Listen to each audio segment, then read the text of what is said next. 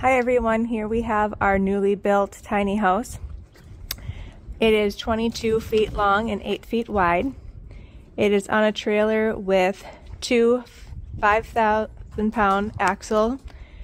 Each um, axle has trailer brakes. Um, this tiny house weighs 6,350 pounds. The exterior is finished in T11 siding, which has been glued and screwed, painted in a dark gray.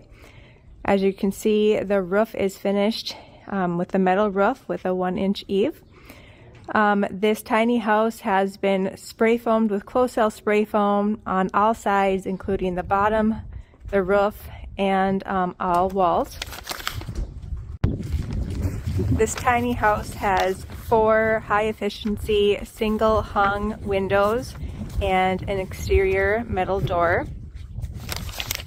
As you can see in the front here, we have dual LP tanks as well as a 12 volt electrical 12 volt fuse panel as you can see there.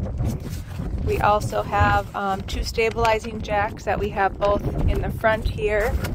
Um, we'll also show you them in the rear as well.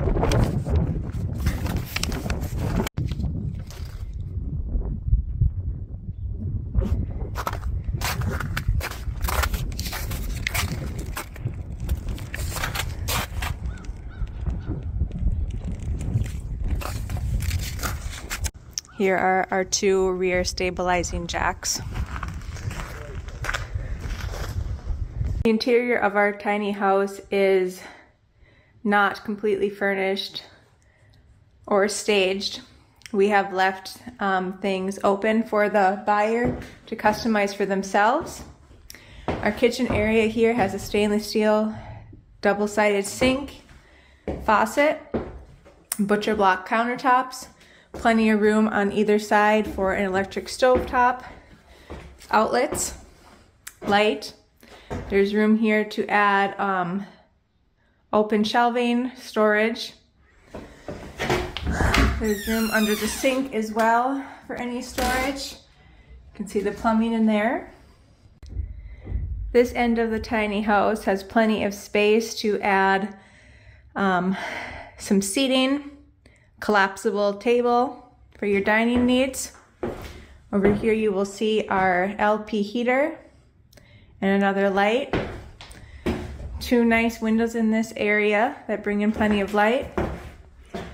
The exterior door, additional window, and hallway to the bedroom area. Bathroom here.